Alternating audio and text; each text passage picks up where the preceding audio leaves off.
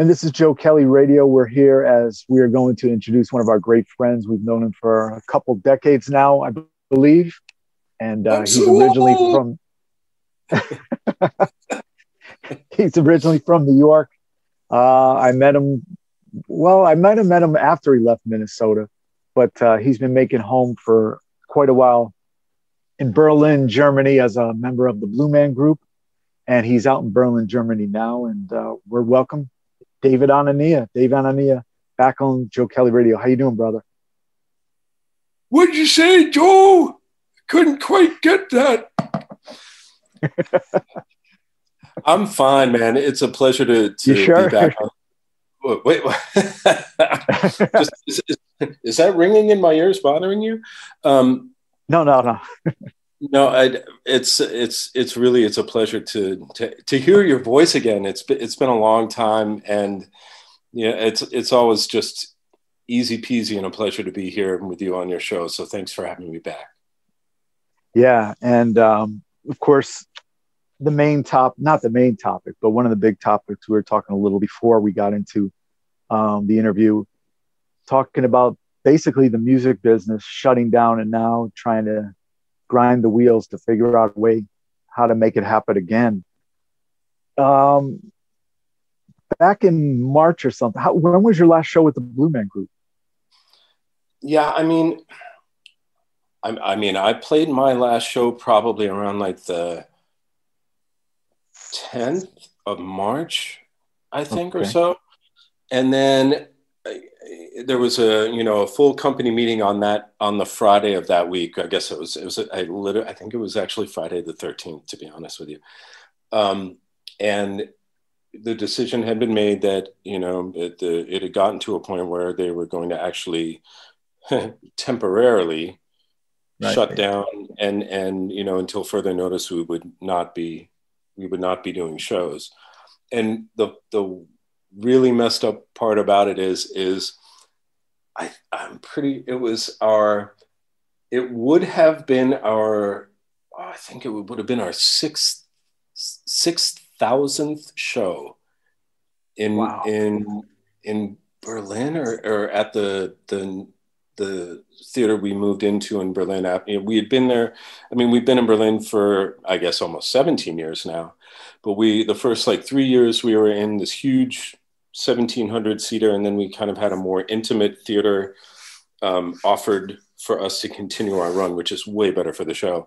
And that, that was in like early 2007. So I think it was the sixth thousandth show or fifth thousandth. I can't remember and it was like right. we literally ended one show before that that milestone milestone so uh, but that was it it was it was the second week of march of 2020 was the last show performed. Now in the music business everybody sees the glamour like you know on stage all the excitement and the, the thrills you'd give us.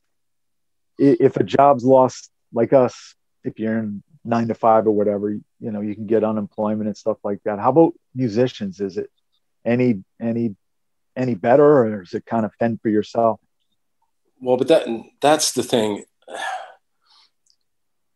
for the most part i mean e- even like if you have a touring gig like you know with a major label act um you know unless i mean okay prince would have his band on retainer so they were you know they were taken care of even when they were not on tour but then they were also you know at his beck and call if he wanted to have them out at the studio at two in the morning or something you know what i mean yeah so right. It's it's a it's an individual case based on who the employer is and for the most part you know musicians are self-employed so right, right. and you know i'm I'm extremely lucky um, uh, on on two levels. Uh, the, the, first level is Blue Man Group is it's actually we are um, we are a, a, Cirque du Soleil production. So okay. a few a few years ago, Blue Man Group sold the show to Cirque du Soleil. So that's one part of the puzzle. But the show here in Berlin um, was licensed to a company called Stage Entertainment, and they, you know, they basically they put up Broadway shows all over Europe. They've got theaters that they own, and so you know they'll do Mamma Mia and they'll put it up in in Stuttgart or, you know, um, Beauty and the Beast, and they'll do that in Hamburg or you know, stuff like that.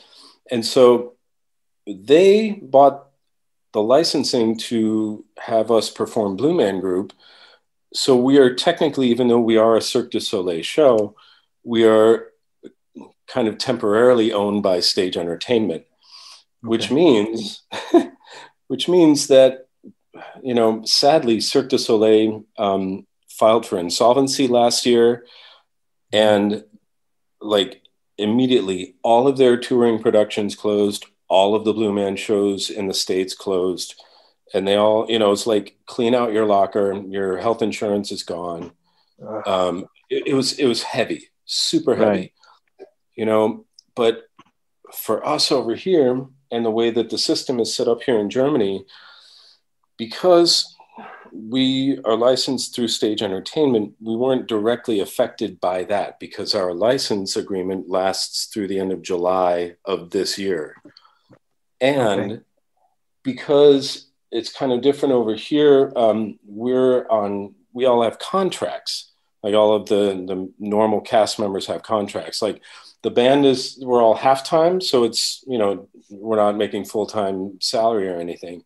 Right. But because of the circumstances of the pandemic, we are actually still receiving a percentage of income um, because we are actually contracted, which okay. is which is really like I give thanks every day for that because I like a lot of musicians was you know no one was expecting this and especially that it would last this long you know? Yeah. and yeah, yeah.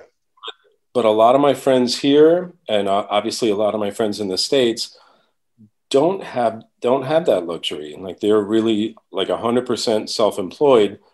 And so you know they've had to apply for support from the government which is cool except you also have to pay taxes and yeah. you know but however the system over here in germany i, I will say it's just it's much kinder than right.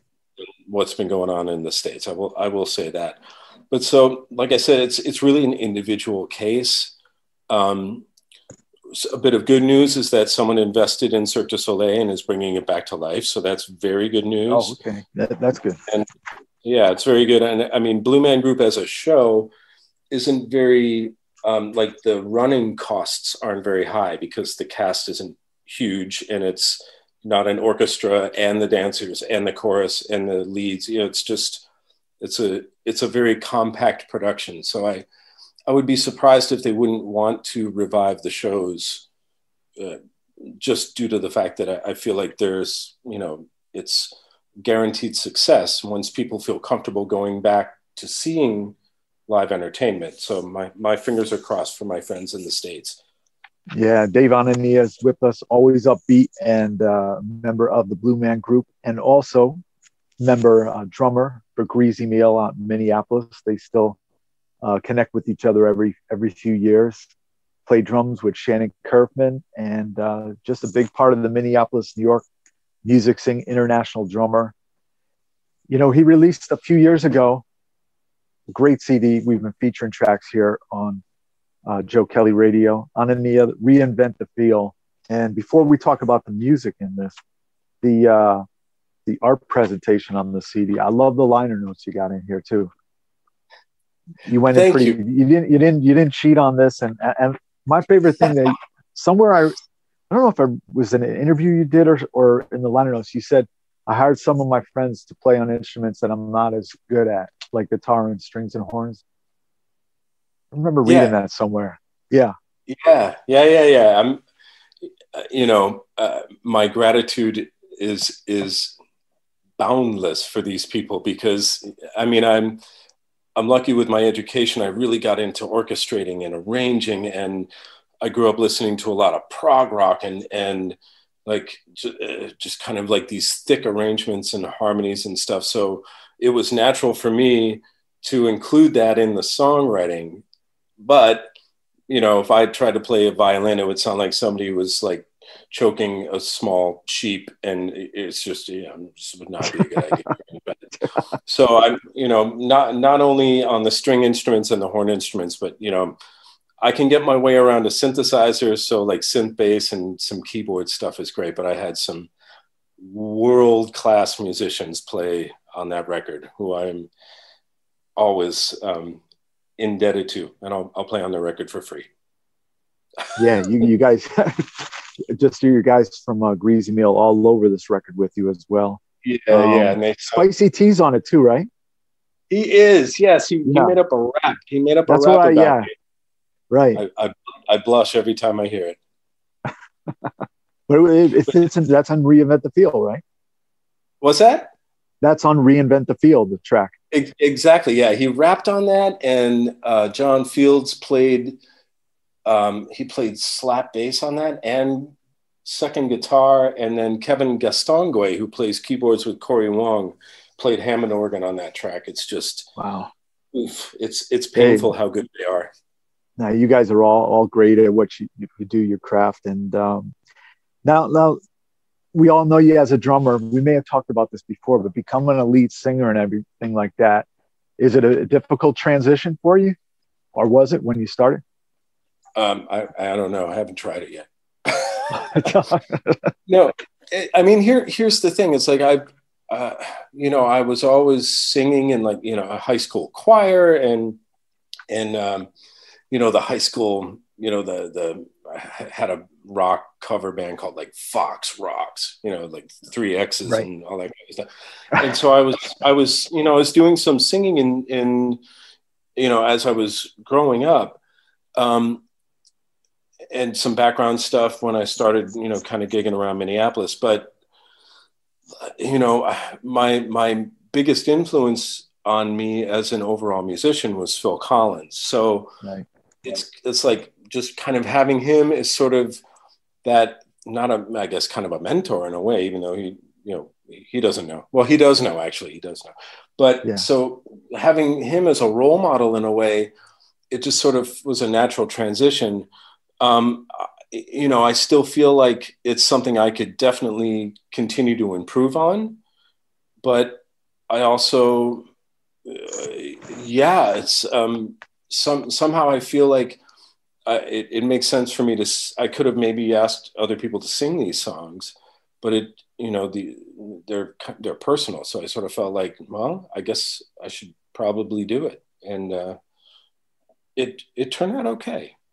Yeah one of my favorite tracks on the record ever and ever the, do great vocals uh, on that so yeah. Oh thank you. Thank you. Yeah that, the slow slow jam. Yeah thank you. That's yeah that's that's one of the most heavily orchestrated track. That's kind of like it's got this outro that's kind of like Chicago esque horn section kind of stuff, and that's mm-hmm. it's um it's one of my favorites. Thank you. I'm glad you like that. Yeah. Now Phil Collins, of course, you've mentioned before on previous talks how big of an influence. You you were able to meet him. It was in New York, right? He came to one of your shows at the Blue Man Group. Yeah, yeah. It was the, it was the weirdest weirdest experience ever. Um, the press and marketing director for our show in New York at the Astor Place Theater came out to me, and this was literally like a, a less than a month before I moved to Berlin too. And uh, she came up to me, it was after a show or something. Said, so you you know who's watching the show on Wednesday, right? I was like, no. She's like, mm. Phil, Phil Collins. I was like, what? And so we had this, you know, this this this whiteboard in the hallway down you know backstage downstairs in the theater and with the schedule for the week.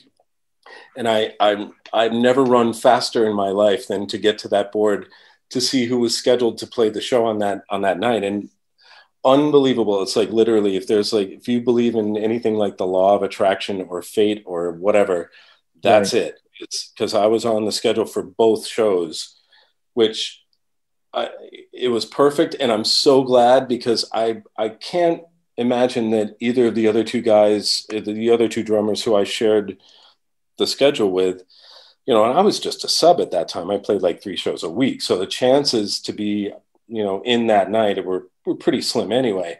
But if I would have been like, "Hey, do you mind switching shows so I can play on Wednesday because Phil Collins is going to be in the audience?" It's like I, I don't know if I would have gotten a, like a rousing sure. You know, but you had so mo- I, you had money ready in case you had to pay somebody, right? Yeah, yeah, not a lot, but it was you know I, I guess it you know with inflation back then it was it would have been enough. Right, right. But um, yeah, it was it was un it was the highlight of my career, and I've had incredible moments. But you know, I will always go back to that because it was because of him, his drumming and singing that I really committed to being a, a musician. You know, and to see to get ready for the show, like we've got this kind of scrim where we can see the audience, but they can't see us until the lights come on. So okay. I, you know, I went up, I went up to get ready for the start of the show, and I looked out, and I saw the guy who I you you um, I'm normally in, in the audience watching him. Mm-hmm. He's in the audience, and he's about to watch me do what he inspired me to do, and it was it was really it was pretty nerve wracking at first, but then you know once I hit the first downbeat, it was like okay, it was yeah. you know Showtime. The nerves went away. Yeah. So did I, you meet I, him? Know, no, go ahead. Oh, no, no. That that go with your question. That that would have been. No, did you meet? Did you? I know there's a picture up on your pages. Um, did you do you meet him beforehand or after the show? Um, thank God I met him after. Okay. I, I think so, and and you know, and it was we always do a meet and greet after the show where you know the audience comes you know through in the lobby and we're there and they can take pictures with the blue men and with the band stuff. So you know it, it, was just kind of our normal after show thing. And then you know everybody was gone and i knew that he was still in the house. And then you know they they brought him through and and he we talked for you know about 10 15 minutes. And i was I managed to really just be authentic with him and not super like you know what kind of sticks do you use you, you know that you know the whole thing that right. if you yeah. if, you're, if you're nervous you can you can make you can make or break that moment you know right and and I felt super comfortable telling him exactly how important he was to me and you know the record that I heard that was that moment and why and you know and he thanked me and he gave me a huge hug and you know, I gave him my my card, and he emailed me a couple of days later and was like, "The show was fantastic. It was great." And then I moved to Berlin, and and he was just starting on his his first final farewell tour, and um, so I ended up getting to get a couple of tickets to go see him when he came through Berlin a few months later, and it was really, you know, he's, he was just super super kind to me, and you know, I, I also know of horror stories when people meet celebrities who had a huge impact on what they do as right. an artist, you know, and then it's just kind of like, oh, I, you know, I can imagine how heartbreaking that is. But, but, but Phil was down to earth. He was super engaging and comfortable. And, you know, I obviously I would have loved to spend more time talking to him, but the, I will always be grateful that I was even not only able to talk with him and just be in the moment about that, but also to really just show it's kind of the best way to show somebody how important they are to you if you if you can show them the art that you create because of their influence in a way. And not many like at my level not many people got that chance you know? Yeah that, so, that's like a dream story for for, for it was huge. Yeah super. Yeah. It, was, it was amazing uh, my guest is a great friend of ours, David Anania. And uh, Anania is the CD Reinvent the Feel, A N A N I A. Where, where are the best spots for people to get the CD or download tracks? Where can people get the CD? Yeah, or download tracks, whatever, whatever, how you're selling it.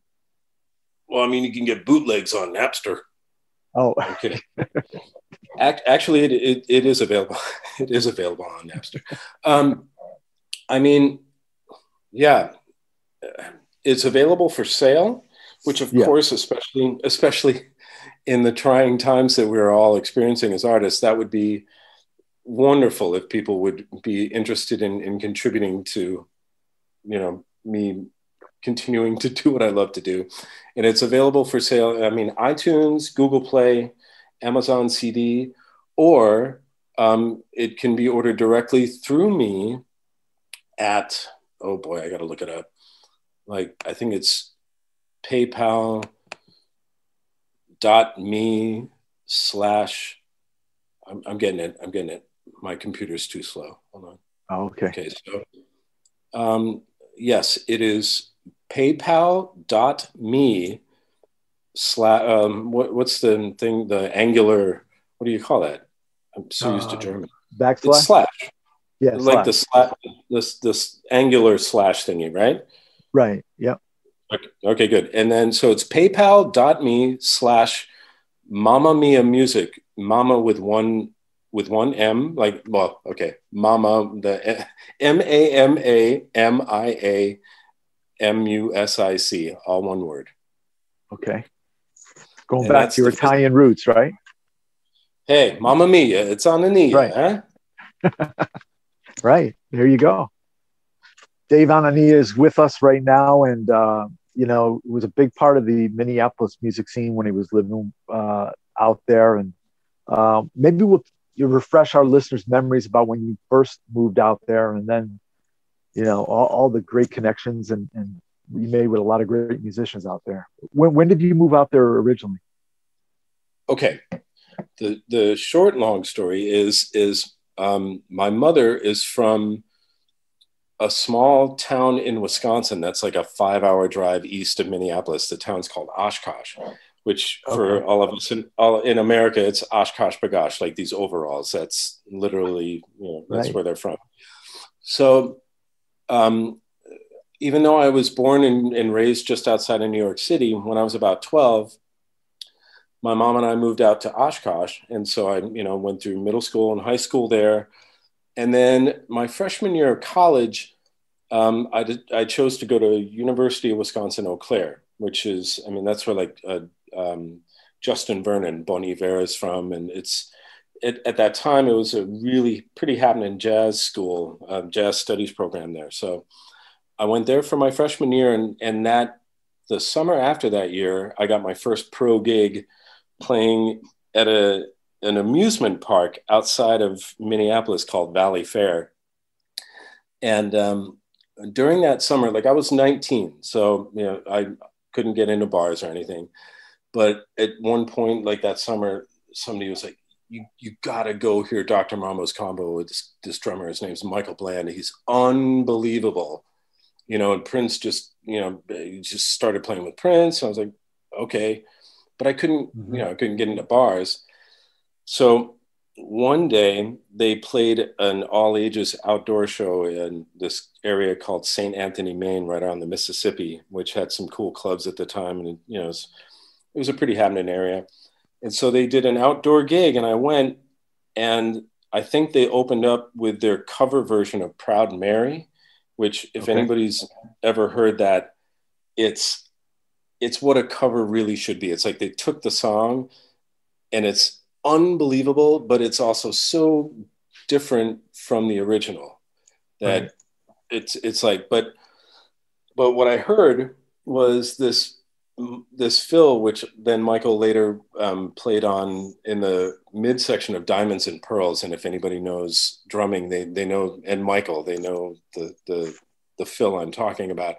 And it was mm-hmm. it was like the way that he played that fill and how it sounded and his pocket and his time and it was like you know it was like nothing i had ever heard in person before you know i i you know I've, i love the influences i've had like phil phil collins will always be my biggest influence david garibaldi tower of power right. manu katché peter gabriel and and sting joni mitchell um, you know john bonham whatever but then i heard michael play and it was like nothing I'd ever heard before, like just the confidence and the power and the funk. And I didn't I didn't know how it was going to happen, but something inside me clicked and I'm like, okay, wherever I thought I would probably live after college, it's going to be Minneapolis. Wow. And and so that was that was the turning point for me and you know i kind of slid around through a couple of different universities and left school for a while to play in a cover band in minneapolis and the whole thing and but then finally like i, I guess it was 91 or so right um, i i just chose to to leave school where i was and move to minneapolis and like if i'm going to finish college it's going to be there and that's it and so from there on out it was like i was you know, by then I was legal. I could drink. Well, I could get in right. the bar. Sorry, and, you know, and and drink if I wanted to. Right. Um, and you know, I just made a post about this, if, uh, or at least a, a comment on Facebook a few weeks ago. Like this this cover band, this Dr. Mambo's combo that Michael was playing in when Prince kind of took him, was playing at this infamous club called Bunkers and right. they had a house gig where they were playing every Monday and Tuesday, and it was a three dollar cover. And for me, like what I wrote in the comment was like I basically paid six dollars a week for like a two and a half hour well no like okay let's say five or six hour drum lesson from michael bland and like getting like like just getting schooled by all of those incredible players on the stage in that that right. band like you learn everything from everybody and so that was like you know if i ever questioned if it was a good move for me to choose minneapolis over nashville new york la austin whatever. It was like it was it, there was no doubt you know? And and so i would just go there and i would listen to michael every week. And it was uh, really it was just mind blowing what he was doing and how what he was creating. And you know we became friends over the years and i ended up playing in a group with the um, sadly passed away um, doug nelson an incredible uh, doug nelson an incredible bass player who was with mambo's combo and also with Jonny Lang for a while and i i was playing in a, a a gig with with Doug, and he really liked my playing. And so when Michael was going out on tour, at one point they called me and asked if I wanted to sub for him in Dr. Mambo's combo, and um, you know they liked it enough so that I ended up being his his first call sub. And oh wow, yeah, I didn't, so didn't know that. Yeah, and so that was like that was the you know, that was getting thrown into the lion's den.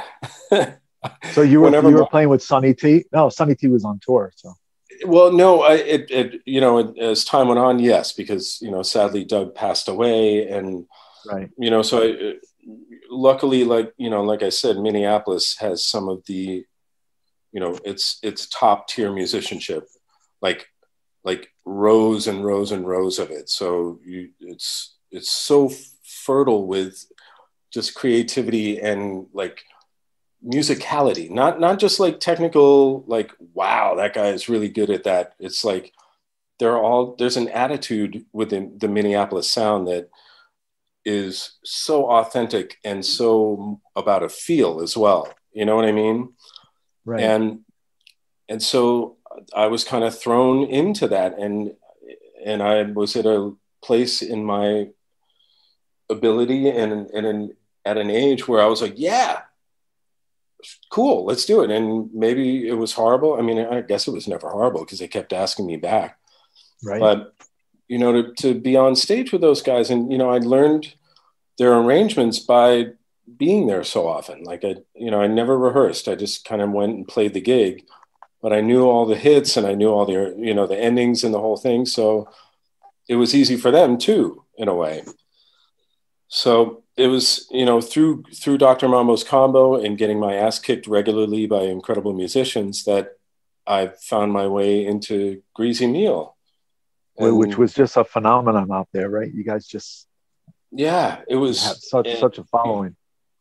It was yeah, I mean, it was you know, it was hap- it was already happening when I I joined the band. Like I I joined the band probably about a year after they started playing, because um, their original drummer Dorian Crozier, who was unbelievable, um, moved to L.A. because he was started playing with the Rembrandts. Was oh, okay. also yeah yeah Phil Phil Solem is one half of the Rembrandts. he's also from Minneapolis. So it's there, there was a lot going on at a bunch of different styles in that town, which is amazing. Um, but so yeah, I started playing with them in Jan- uh, January of two, oh, sorry, of '96, and that was kind of that was it. And it was you know within a few months we were like packing the Cabooze every Sunday.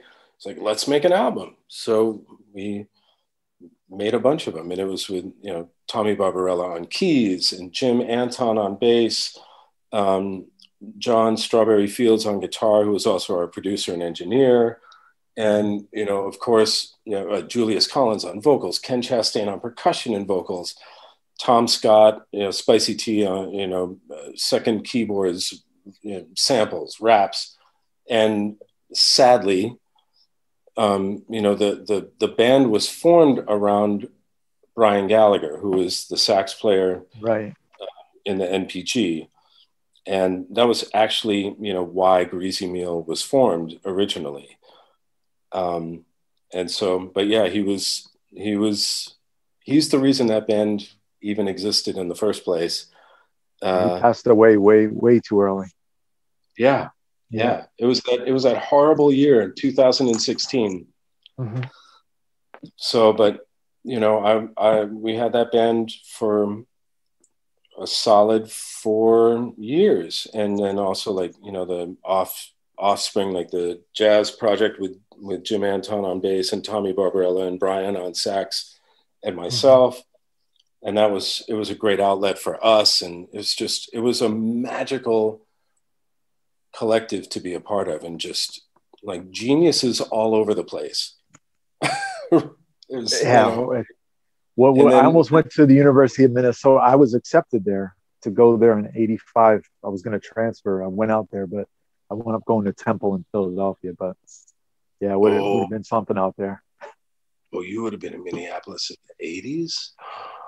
Yeah, 80, 85. I went out there and me and my brother, we went out there. We flew out there, and we had relatives, cousins, which we never knew we had. We stayed at their house, went to First Ave, but the school actually was closed on holidays, so we never were able to tour the campus. And I was only going out there for the music scene, to be honest. Yeah, I mean, and they also, I mean, they had they had a, a solid music program there when I was there, and so it just it made sense if I really wanted to actually get a degree that you know, uh, my gigging around town coincided with finishing up my degree there. So, okay, uh, yeah. Hey, how about let me ask you this as a musician, Prince and his music. What do you think the mindset? Would you guess Prince bringing in drummers like Michael Bland and John Blackwell to play on the tracks instead of him playing the tracks? What, what do you? How do you think he thought in his mind in certain songs? You got any comment on that? I mean, like it, this is just like an educated guess. Okay. Um, not not having been a part of of that camp, you know, intimately. You know what I mean? Like I played with right. a bunch of the guys in his band. Like Prince. Prince was basically like he's from he was from another planet. You know what I mean? He he literally yeah. created he created a sound that is associated with a city and it's a style of music and it's this unbelievable meshing of styles and you know also Clare Fischer's string arrangements. It's, it's he's you know it's he's out of this world. But he also I sort of feel like he loves like he loves amazing musicians. Mm-hmm. you know and the thing is is like Prince Prince was just super super super funky, and you know I mean he you know his stuff on his on his earlier records. I mean like you know I want to be your lover or you know, all that stuff where it's you know it's, he's drumming, and then right. there's also like you know I I think he he plays on tambourine right. I think yeah, I think he does. Too. Right. And yeah. so so I mean he, he's messing around there. You know he's he's he's pulling some some tricks out of his hat. Right. Um, and it's super raw and it's super funky. Like in a it's you know it's it's somehow it's like oh this was just one take and that was it was the moment and it captured that. But I I also I also feel like even though he was so dynamic and and capable, like he also loved what he could get like experience with musicians who came from other backgrounds or like had even more of a command of a certain instrument even though he could play so many instruments you know like no one plays no one makes a drum kit sound like michael bland. You right. know what i mean? So i sort of feel like you know he has respect. That's and he he had this persona where it was kind of like you know he's sort of mystical and kind of his own thing and whatever. But you know i also feel like if he didn't love what these other craftsmen or you know like okay sheila e or um or um hannah hannah oh, Wel- welton uh, yeah hannah welton yeah. Yeah. Yeah like you know or or or uh rhonda or you know uh, all of these you know it doesn't matter. Gender you know it's gender doesn't matter. But they all brought something to the table and and he he I think he learned from that also, and he at the very least he wanted it because he didn't have to take it, but he wanted it. He felt like it made whatever he was doing better. Yeah, you know, just the Godfather of the Minneapolis sound, I guess. Yeah, yeah, yeah. That, was Prince. Exactly. Yeah. So my guest right now, David Anania. He's a member of the Blue Man Group, Minneapolis scene maven, played out there for a long time, still keeps in contact with the Greazy Meal Buddies, right? Yeah, uh, actually, I had a I had a chat with John Fields a few hours ago. So, yeah, I, I talk with him every once in a while. I, you know, when Jim was on tour with Jonny Lang, every time they play Berlin or maybe even Hamburg, it's a couple of hours away, and then I would I would make sure I went and checked them out. Um, I mean, the last time I was back in Minneapolis, that was the end of December. Like it was it was the holiday Christmas holidays of 2019. Oh, and okay. Yeah, I went back for a visit, and we we were all in the studio again, which was really fun. Um, and you know, we we we laid some stuff down. I mean, we're we're you know, it, we'll see we'll see how how it takes shape and whether it's something that will end up being like, hey, we did this or or not. Yeah. But yeah. it was still it was like it was it was interesting to be back in the room making music. It was the first time after Brian passed away that we did that. Wow. And so, you know, there's there's a lot of mixed emotions about that, you know, out of respect for Brian and because the band was basically created around him you know, and he was also such a, a prominent songwriter. You know, it's you know, and and he had you know a lot of us were very close to him. So it's do you, how do we how do we navigate like what you know how do we do that how do we feel comfortable is it okay that we're doing this or is it you know somehow disrespectful but i i don't think it i don't think it is i think without you know, I'm getting no, I'm going to get super cliche. It's like I th- I think it's literally what Brian would have wanted. Right, right. You know. So who play, who so, who was playing sax in the music? Uh, we we we didn't have any wind wind instruments on that session. It was it was just oh, okay. everybody. You know, yeah, it was it was the the remaining. I guess how many of us are? We had a huge band. It was way too big. But well, we yeah. we met while uh, you were on tour with Shannon Curfman. Yes. Up in uh, New Haven, Connecticut at Toads and at South Street Seaport. Yes. Um, you guys, that was that was a great band there. How how'd you get involved with Shannon? um, because Shannon is uh, Shannon is another you know one of these unique forces in nature where she just from a very young age it was less like she is music you know eat sleeps and breathes music.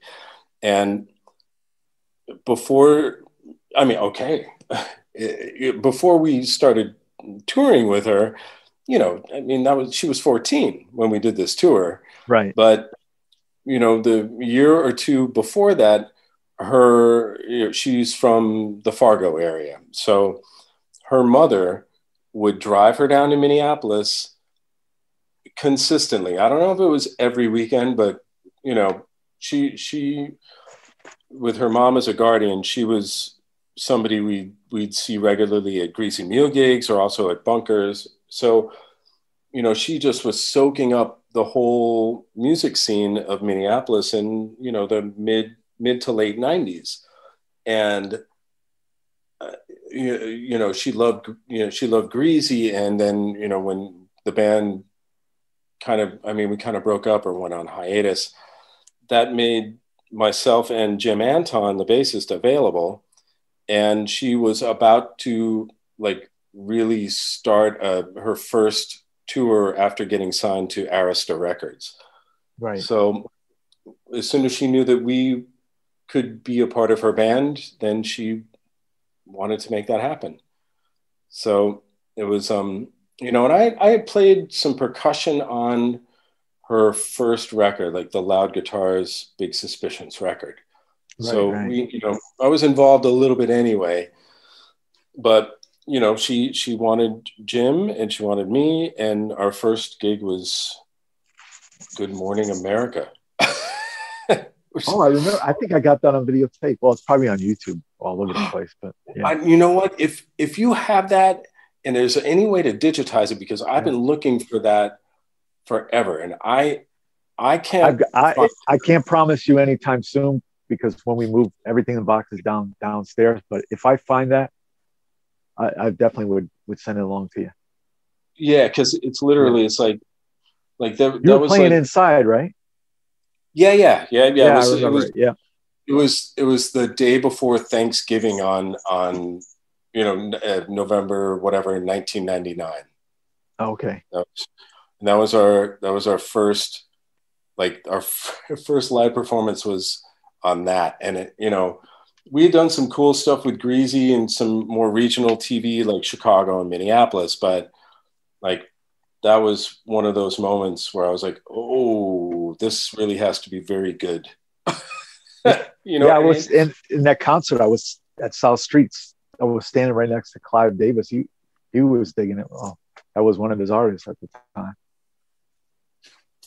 Yeah, I mean,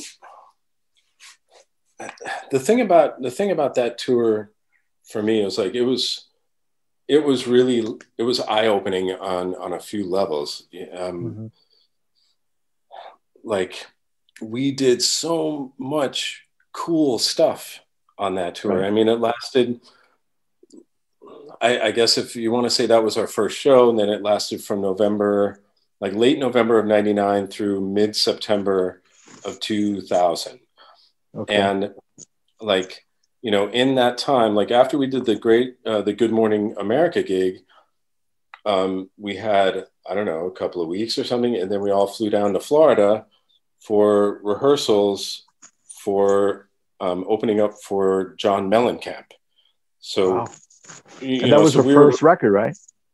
Yeah, that was her. That was her debut record. Right. And you know, Clive, Clive Davis signed her.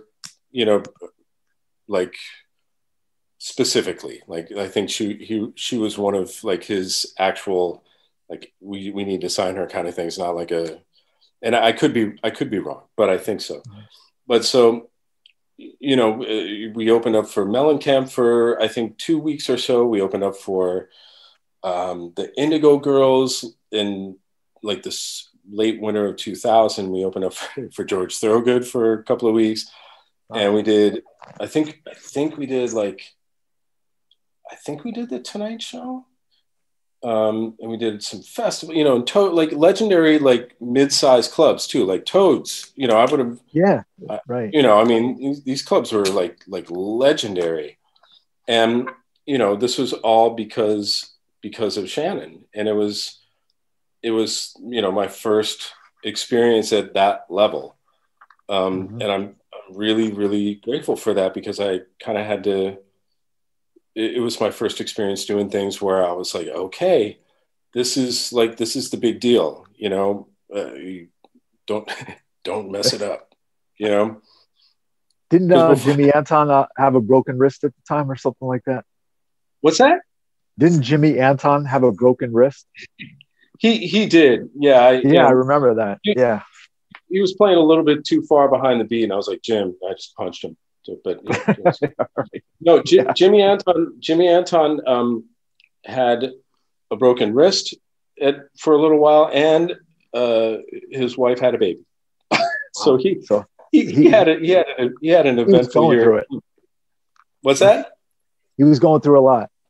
Yeah, he was, he was going through a lot, and he, you know, and you know, I mean, the thing is, is like you were talking about, like the kind of the contrast between what is presented and what the actual experience is, like right at the kind of, you know, at the beginning when we were talking, and th- that tour was a is a perfect example where it's like I I really am you know I'm I'm so grateful for the all of the experiences that I had and uh, the whole thing. But then it was also like you know we were you know we, we were doing really cool gigs but then we were also responsible for you know getting getting us to the next gig and you know it, was, it, it wasn't glamorous you know what right. I mean? Mm-hmm. So, sit. Good dog. Um, I think Amazon that, just rang. Is, is that the the atomic dog? The atomic dog. Yeah, you got it. so good. At least you, you, you got the you got the package. That's good. I, I sent That's right. Yeah, yeah. so, but but you know that that tour was amazing, and you know my last gig with Shannon was Farm Aid. and, wow you know, just, in, just a little uh, playing for tip jars, right? Not, yeah, you know, just, just, a little kind of like oh, it's like a picnic with you know thirty five thousand for you, right, you know, right. and it wasn't just that gig too. It was like seeing everybody else on that gig. You know, it was, it was Crosby, Stills, Nash, and Young, the Barenaked Ladies, John Mellencamp, Willie Nelson. You know, they're you know all these session cats who were playing with these these artists for these one off gigs, and it was you know, it was, it was literally, you know, going out, going out with a bang for me. Right. Um, and yeah, I, so, and, and we got to know each other. So I'm like, okay, cool. Yeah. Just, cherry, just a great cherry, experience. Yeah. Cherry on the sundae. Right. Right. So, so before we wrap up, I got to ask you, um, you know, Dave Anania, before we got into professional music, he was he was earmarked to play center field for the New York Yankees. I'm sure. Have you been keeping up on the Yankees the upcoming season? Yep. You confident? Yeah. We, are, are, are we really going to talk about? You're a Mets fan, right? Yeah, I'm a Mets fan. Yeah. Okay. Yeah. Well, I tell you, I'm I have so many strong opinions about how the Yankees have dealt players in the last two years or so. Right. That we're going to have to actually schedule another podcast. um, I'll just say this: their weakness was pitching for sure, and right. and and injuries. Um, and I don't feel like the moves they made on the, the offseason, unless there are two triumphant comebacks, you know, with with Corey Kluber and um, oh, who else did they get? Paxton. No, Paxton went back. He, he, just got traded to the Mariners. I read that today. Oh, okay, okay. So, so Paxton, Happ, and and Tanaka are all gone. So right, okay. You, you know, it's it's you know whether Deivi Garcia will have a you know breakout sophomore year or whatever. So I'll just say this: I wish they would trade Gary Sanchez. I wish they would trade Aroldis Chapman.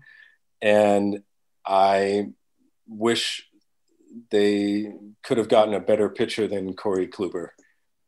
Right. So I'm surprised and, Trevor Bauer didn't, uh, they didn't pay well, money for him. Uh, well, the problem with that is like, I mean, the stuff I've read is that Trevor, Trevor and Gerrit Cole don't really get along.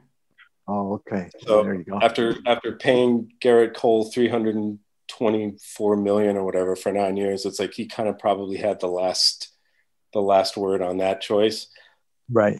So you, you never know, but I mean, also it's like if you want to talk about like the Yankee like Yankee pride and kind of what they stand for, it's kind of like Trevor Bauer. he would he would have been okay in like the late 70s Yankees. Right, right. You know, where everybody was like, you know, kind of growing sideburns and mustaches, and Billy Martin was like, you know, kicking umpires and all that stuff. Yeah. But I sort of feel like they they want to stay away from the kind of like mega drama, you know, attention grabber kind of people. So I don't know, but I will say I think I I am super and I just love good baseball. I don't care. Right. I mean, I'm a Yankee. I'm a lifer for you know Yankee fan for life. That's you know that's definitely right. done. But I tell you, I would be super super psyched if the Mets get like one more like if they get a like if they pick up Jake Odorizzi or some you know something like that like a decent starter who might still have some good some life left in them. like the whole you know Lindor move and Carrasco and the whole it's like the Mets the Mets are exciting right now. Yeah. Just got to stay healthy like any other team. We'll see what happens exactly. the pitchers yeah. I mean, I'm I'm super psyched for um you know I know that they're scheduling a game you know an uh, interleague game o- over September 11th. I think that's going to be a really wonderful a, a, wonderful experience to watch in every possible right, yeah. way. Oh, they're they're playing out your way. What's that? Where where are they playing? Oh, they're no, playing in New York.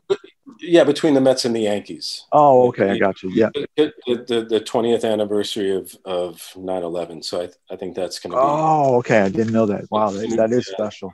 Yeah, that, very special. I mean, I, I will say this: I did go see the Yankees um, Red Sox game here in London two years ago. Oh, okay. That, they they finally, you know, they made the move and they they played a two game series over here like uh, like late June or something, and that was in 2019, and it was awesome. Right. Oh yeah, I'm sure. You know, I think they, they made the ball out of hard rubber because it was like 12. Each team scored six runs in the first inning. It was, you know, it was, it was yeah. not, you know, it was super. It was like playing PlayStation 4 or something. But right, right. It was, it was really fun to to have that experience here. I, you know, as soon as travel and safety is you know not an issue, then I, I'm sure they'll they'll continue it. So we'll have so. to catch up later in the year, Dave Anania, with Major League Baseball and music. But uh, I want to thank you, brother, for stopping by Joe Kelley Radio in the midst of uh, hopefully heading towards the, the, later stages of this pandemic. Um, Reinvent the Feel, Anania, A N A N I A. Reinvent the Feel, great CD. And of course, Blue Man Group when they get back on stage go check them out in Berlin, Germany. Please do. And Joe, man, it was so nice to spend some time with you. Thank you again for your support over the the years that we've known each other and all of the projects I've been involved in. And um, it's always nice to hear your voice again. And I, I really appreciate you taking time out and, and having me on board. So thank you. Yeah, likewise. And we'll keep on supporting you. So look forward to what's coming ahead. And uh, we're going to listen to more music right now from Reinvent the Feel, Anania. Oh. Hey, that